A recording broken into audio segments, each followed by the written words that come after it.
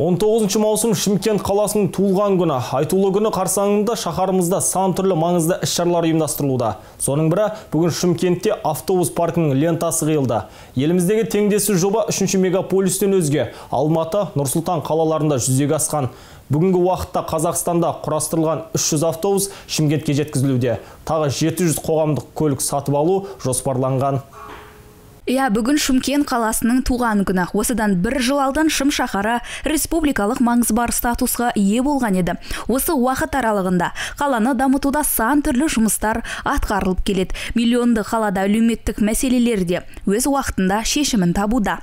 Қала тұрғындарын мазалайтын өзекті мәселелердің бірі қоғамдық көліктердің жайы. Бұл проблеманы қала әкімі Ғабидолла Әбдірахымов шешімін табуға уәде берген болатын. Енді міне қала күніне орай автобус паркі ашылды мұнда сервистік орталық авто жуу қызметі жатақхана медициналық пункт және асхана да қарастырылған. Қала күніне осы жыл басында уәде бергендей автобус 300 автобус келіп отыр.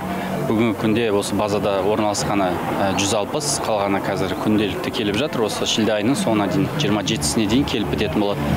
Бүгін мына қала күніне сый ретінде екі маршрут екі бағыт бойынша автобустар жүре бастайды. Ол 138 бен 158 ол баяғы 38 бен 58 алдына 100 деген қойылып отырады біздікі. Жалпы шымкент әлеуметтік кәсіпкерлік корпорациясының қасынан осы шымкент бас деген басқарушы компания құрылды. Осы компания толығымен басқаратын болады. Бүгінгі күнде басқарушы компанияда 1285 адам жұмыс істейді. 600 жүргізуші 600 бақылайтын адамдар контролер контролер деп айтамыз механик деп айтамыз жаңағы медицина жағынан басқа жағынан мына қосымша көп жүргізушілер енді сырттан келген соң басқа қалалардың тәжірибесін ескере отыра осы жерден жатақханада қарастырылдық. Таңертеңгі таң асы қарастырылды. Қаламызда ең үлкен автопарк бар екі қала ол алматы мен астана қалалары. Солардың тәжірибесін ескере отыра біз мына автопарктың сыртында автотұрақ орналастырдық көріп отырсаңыздар яғни жүргізушілер бұл жерге тек қана автобусын алып кетуге ғана келеді. Таңертең басқа кезде келіп сол жерге қойып кетеді механиктер қабылдап алып өзі жуып шайып тазалап нөмірлерін орнына қояды. Жүргізушілердің мақсаты ерте келіп анализін тапсырып кілтін алып жүріп маршрутпен шығып кететін болады. Жалпы оңай жүйесі кіретін болады. Алматы транспорт холдингі деген компаниямен бізде келісім шарт бар. Солармен бірге жаңа оңай жүйесін енгізетін боламыз. Яғни 2020 жылдан бастап қаңтар айынан бастап толық электронды түрде қызмет көрсететін болады жұмыстың барлығы. Еліміздегі ерекше жоба алматы нұрсұлтан қалаларынан соң шымкент қаласында жүзеге асып отыр. Бүгін пайдалануға берілген автобустар мен парктің жағдайымен танысу үшін шымкент қаласының әкімі арнайы келген болатын. Ғабидолла әбдірахымов қаламызға алып келінген көліктер үшін үлесін қосқан азаматтарға алғысын білдірді. Өздеріңізге белгілі осы бір жыл бұрын 19 маусым күні біздің елбасымыз нұрсұлтан әбішұлы өзінің жарлығымен тарихи шешім қабылдап шымкент қаласына республикалық маңызы бар қалалардың санатына жатқызды. Шымкент қаласында бүкіл барлық салаларында жаңа өмір басталды деп айтсақ болады.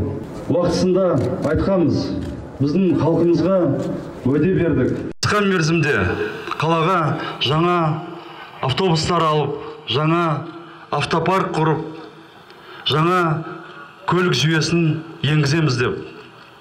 Біз өз сөзімізде тұрдық. Біз жаңа автобустың парк аштық.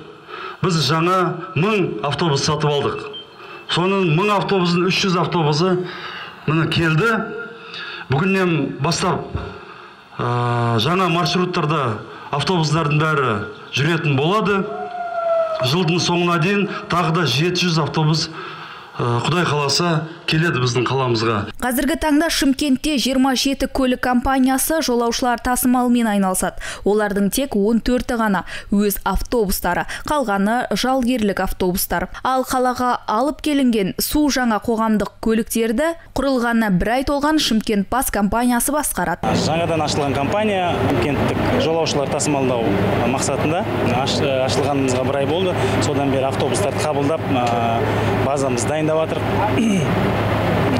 қазіргі таңға әкіміміз айтып кеткен 300 автобус сатып алынды. Жылдың соңына дейін қалған 700 автобус сатып алуға үміттенудеміз. Құдай қаласа барлық жолаушылардың талаптарын орындауға дайынбыз. Қоғамдық көліктер салқындатқыштармен пандустармен бейнекамералармен жолаушылар ағынының датчиктерімен gps тіректермен жабдықталған. Сондай ақ оңай жол ақысын төлеудің электронды жүйесін орнату жоспарлануда. Ең маңыздысы біршама жандар жұмыспен қамтылып отыр. Осы саламен бес жылдан бері айналысам қоғамдық көлік деген жақсы ғой өзі.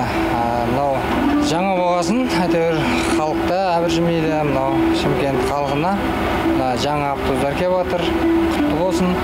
Алдын санжар моторста істегем гринбус компаниясында істегем осы қалада көптеген компанияларда істеп жүрген жүргізушілерге қолайлық жақсы.